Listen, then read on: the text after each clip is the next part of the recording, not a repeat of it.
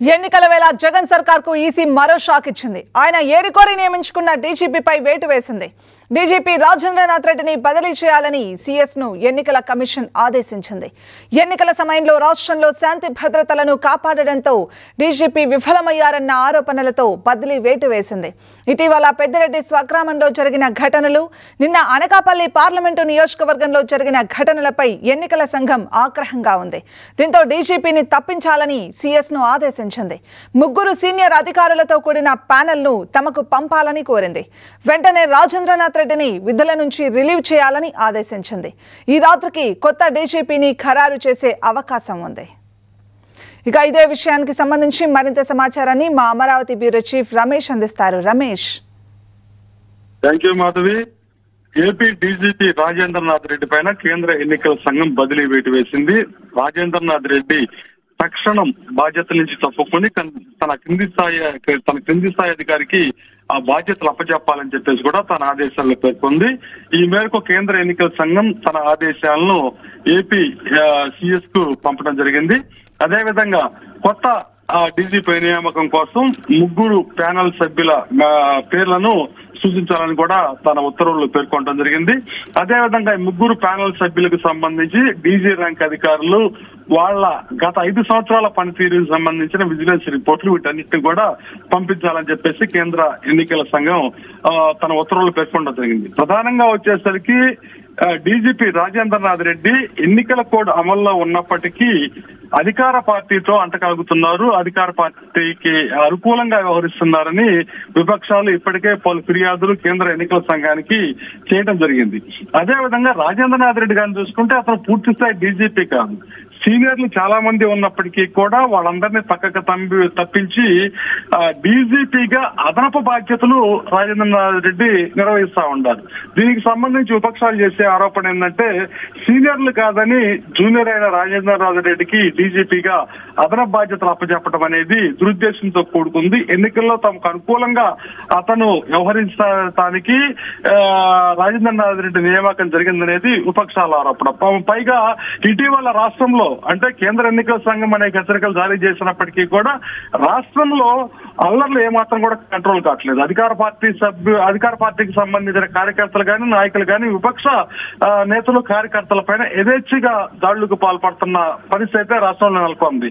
కీలక నియోజకవర్గాలైన ఆ, కీలక జిల్లాలైన చిత్తూరు అదే విధంగా విశాఖపట్నం ఆ, అనకాపల్లి పల్నాడు వంటి ప్రాంతాల్లో ఇప్పటికీ కూడా శాంతి భద్రతలు పూర్తి స్థాయిలో అదుపులోకి రాలేదు. ఖచ్చితంగా వచ్చేసరికి బీజేపీ వైఫల్యం కింద వస్తుంది. ఒక పక్క కేంద్ర ఎన్నికల సంఘం ఏంటంటే ఏమాత్రం అల్లర్లకు తావులేని ఎన్నికలు హింసకు తావులేని ఎన్నికలు నిర్వహించాలని అదేవిధంగా రీపోలింగ్ కూడా అవసరం లేని ఎన్నికలు నిర్వహించాలని చెప్పేసి చాలా పట్టుదలతో ఉంది. ఈ నేపథ్యంలో ఎన్నికలు కూడా అమల్లో వచ్చినప్పటి నుంచి కూడా శాంతి భద్రతల పరిరక్షణ ఎటువంటి హింస ఆ, హింసారహిత అయిన చర్యలు తీసుకోవాలి. ఎటువంటి హింసకు కూడా తావు ఇవ్వకూడదు. దీనికి సంబంధించి పోలీసులు కఠినంగా వ్యవహరించాలని చెప్పేసి హెచ్చరికలు జారీ చేస్తున్నప్పటికీ కూడా ఆ హెచ్చరికలన్నీ హెచ్చరికలను బేఖాతలు అయిపోతా ఉండయి యథేచ్ఛగా దాడులకు అధికార పార్టీ కార్యకర్తలు కానీ నేతలు కానీ పాల్పడతా ఉన్న పరిస్థితి కూడా కనిపిస్తుంది. ఏమాత్రం భయం లేకుండా వాళ్ళు విచ్చలవిడిగా శాంతి భద్రతలకు విఘాతం కలిగిస్తున్న పరిస్థితి రాష్ట్రంలో కనిపిస్తా ఉంది. సో ఈ నేపథ్యంలో విపక్షాల నుంచి వచ్చిన ఫిర్యాదులు కానీ రాష్ట్రంలో ఉన్న పరిస్థితులు వీటన్నిటిని కూడా గమనించిన కేంద్ర ఎన్నికల సంఘం ఏకంగా డీజీపీ పైనే బదిలీ వేటు వేయడం జరిగింది. సో కొత్త డీజీపీ నేతృత్వంలో కానీ ఎన్నికలు సజావుగా జరుగుతాయని చెప్పేసి ఒక ఆశాభావాన్ని విపక్షాలు వ్యక్తం చేస్తామంటే ఏమైనప్పటికీ కూడా రేపు ఉదయం కల్లా కూడా కొత్త డీజీపీ నియామక ప్రక్రియ పూర్తయ్యే అవకాశం కనిపిస్తా ఉంది మాధవి. ఎన్నికలకు ముందు ఇది వైసీపీకి బిగ్ షాక్ అని అనుకోవచ్చా రమేష్? హండ్రెడ్ పర్సెంట్ ఇది ఖచ్చితంగా ఎన్నికలలో వైసీపీకి ఒక ఆ, బిగ్ షాక్ అని చెప్పవచ్చు. ఎందుకంటే ప్రజా వ్యతిరేకతను అధిగమించేందుకు ఆ, ఏదైతే హింసాత్మక చర్యలకు పూనుకోవాలని చెప్పేసి వైసీపీ ఒక ప్రణాళిక రూపొందించుకున్న పరిస్థితి అయితే మాత్రం రాష్ట్రంలో కనిపిస్తా ఉంది. ప్రధానంగా తమకు అనుకూలమైన ఆ పోలీస్ సిబ్బందిని ఆయా పోలీస్ స్టేషన్ల పరిధిలో నియమించుకున్న పరిస్థితి కూడా కనిపిస్తా ఉంది. ఏదైతే డిఎస్పీ అదేవిధంగా సిఐఈ ఎస్ఐఈ ఈ స్థాయి అధికారులందరూ కూడా మెజార్టీ ప్రాంతాల్లో వైసీపీకి అనుకూలమైన వాళ్ళు ఉంటారు. సో వీళ్ళందరికీ కూడా మీకు మీకు ఎటువంటి ఇబ్బంది లేకుండా మేము చూస్తాము అనే ఒక భరోసా బీజేపీ స్థాయి అధికారి నుంచి వచ్చిందంటే ఖచ్చితంగా వాళ్ళు అధికార పార్టీకి అనుకూలంగా విపక్షాలని అణగదొక్కే ఒక కార్యక్రమం కార్యక్రమానికైతే శ్రీకారం చుడతా చుడతారంటంలో ఏమాత్రం సందేహం లేదు. ఇటీవల ఘటనలు కానీ చూసుకుంటే విపక్షాలపైన దాడి చేయడంతో పాటు విపక్ష ఏదైతే బాధితుల పైన పోలీసులు కేసు పెట్టడం అనేది ఎన్నికల కూడా అమల్లో ఉన్న ఆ, పరిస్థితుల్లో కూడా కనిపిస్తా ఉంది. అంటే కేంద్ర ఎన్నికల సంఘం మార్గదర్శకాలను ఏమాత్రం పోలీసులు పట్టించుకుంటున్న పరిస్థితి కూడా కనిపించట్లేదు. గతంలో ఏదైతే వైసీపీతో అంటగాగుతున్న అంటగాగుతూ దుందుడుగ్గా పోలీసు అధికారులు వ్యవహరించారో అదే దుందుడుకు ధోరణి ప్రస్తుతం పోలీసుల్లో కూడా కనిపిస్తా ఉంది. వాళ్ళలో ఏమాత్రం కూడా మార్పు రాలేదు. కానీ ఈ ఇటువంటి పరిస్థితులు ఏదైతే కేంద్ర ఎన్నికల సంఘం చాలా ముందుగానే ఎన్నికలు కూడా రావడానికి చాలా ముందుగానే ఆంధ్రప్రదేశ్కు సంబంధించి హెచ్చరికలు జారీ చేస్తా ఉంది. దేశంలోని మిగతా రాష్ట్రాలతో పోలిస్తే ఆంధ్రప్రదేశ్లో ప్రత్యేకమైన పరిస్థితులు కనిపిస్తున్నాయి. ఇక్కడ శాంతి భద్రతలు ఏమాత్రం కూడా సమయంగా ఉన్నట్టు కనపడటం లేదు. ఇటువంటి పరిస్థితులు మాత్రం మేము ఎవరయ్యే? ఛాన్స్ ఉంది. దానికి సంబంధించి మీ దగ్గర ఏమైనా ఇన్ఫర్మేషన్ ఉందా?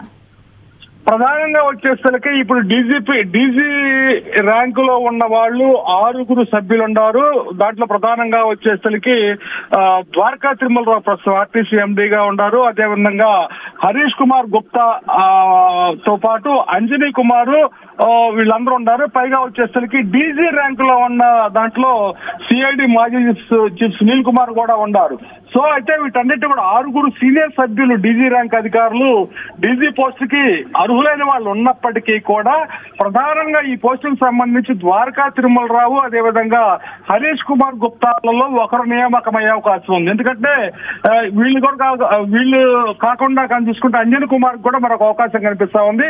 మిగతా వాళ్ళకు సంబంధించి వాళ్ళ కాండక్ట్ సంబంధించి ఇప్పటికే కేంద్ర హోంమంత్రిత్వ శాఖకు పలు ఫిర్యాదులు అందినయి ప్రధానంగా ఎన్నికల సంఘం ఏంటంటే డీజీ ర్యాంకులో ఉన్న వాళ్ళ ప్రవర్తన తీరుకు సంబంధించి గత ఐదు సంవత్సరాల విజిలెన్స్ రిపోర్టులు కూడా పంపించనున్న నేపథ్యంలో కొంత క్లీన్ చిట్ ఉన్న వాళ్ళు ఎవరైతే ఉన్నారో అంటే విజిలెన్స్ రిపోర్ట్లు అంతా సవ్యంగా ఉండి వాళ్ళు నిబద్ధతగా పనిచేసిన ఒక నివేదికలు ద్వారకా తిరుమలరావు గాని లేదా హరీష్ కుమార్ గుప్తా అదే విధంగా అంజన్ కుమార్ ముగ్గురికి ఉండే అవకాశం కనిపిస్తా ఉన్న నేపథ్యంలో ఈ ముగ్గురులో ఒకరిని కేంద్ర ఎన్నికల సంఘం ఎంపిక చేసే అవకాశం కనిపిస్తా ఉంది. అయితే పోలీస్ వర్గాల నుంచి అందుతున్న సమాచారం ప్రకారం ద్వారకా తిరుమలరావు హరీష్ గుప్తా హరీష్ కుమార్ గుప్తాల్లో ఎవరో ఒకళ్ళు కొత్త డీజీపీగా ఎంపికయ్యే అవకాశం ఉందని సమాచారం అంతా ఉంది మాధవి. రైట్ రమేష్